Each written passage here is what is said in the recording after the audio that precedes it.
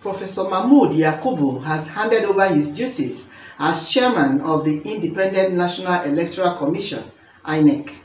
He passed on the leadership mantle to an INEC National Commissioner, Air Vice Marshal Ahmed Muazu, retired, on Monday, November 9, 2020, at an event held at the headquarters of the Electoral Umpire in Abuja, the nation's capital.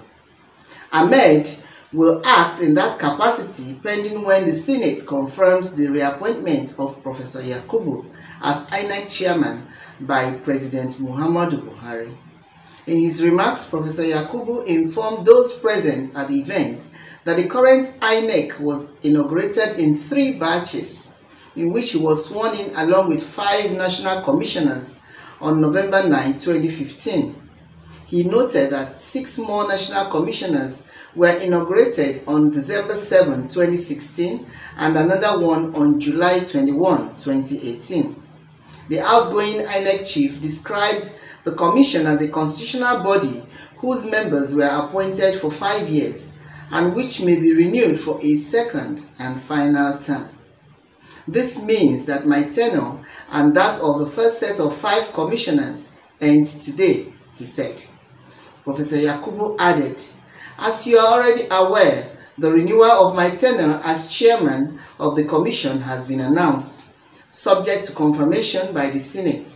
Our work as election managers requires us to enforce the law, regulations, and guidelines. I'm doing so, we must demonstrate strict respect for and compliance with the Constitution of Nigeria and subsidiary laws.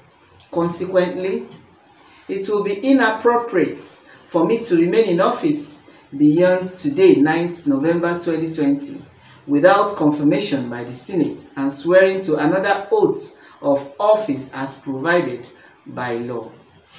The outgoing described INEC boss stated that pending the conclusion of the statutory process, the remaining national commissioners resolved that Muazu will oversee the affairs of the electoral body. It is therefore my pleasure to hand over to him in the interim.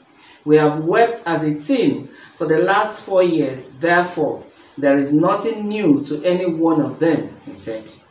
Professor Yakubu thanked the staff of the Commission and the resident electoral commissioners for their support during his first term as INEC chairman.